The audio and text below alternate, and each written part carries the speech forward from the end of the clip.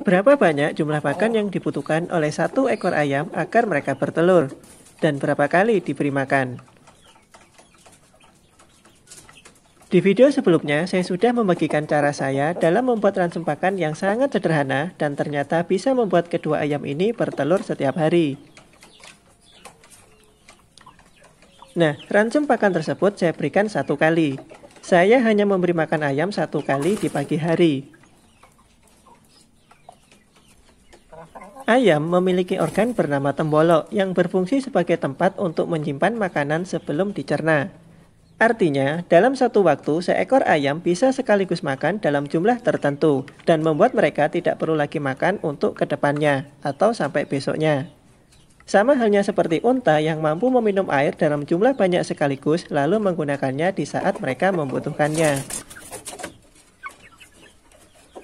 Jadi kebutuhan nutrisi yang diperlukan oleh seekor ayam saya berikan sekaligus dalam satu waktu. Saya sudah terbiasa menggunakan genggaman tangan untuk menakarnya, namun jika ditimbang, ransum pakan yang saya berikan untuk per ekor ayam sekitar 100 gram. Selain menghemat tenaga dan waktu operasional, penggunaan pakan menjadi lebih efisien. Mungkin ke depannya saya ingin mengkaji ulang, mencari tahu berapa jumlah minimal dari pakan yang dibutuhkan oleh ayam, namun tetap bertelur setiap hari, sehingga penggunaan pakan bisa lebih efisien lagi. Oh ya, cara ini saya gunakan untuk ayam dewasa atau yang sudah mulai bertelur. Untuk ayam remaja atau anak ayam, saya memberi makan dua kali, pagi dan siang.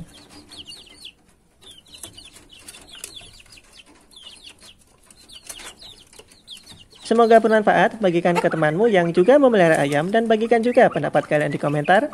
Like kalau suka, sampai ketemu di video berikutnya dan terima kasih.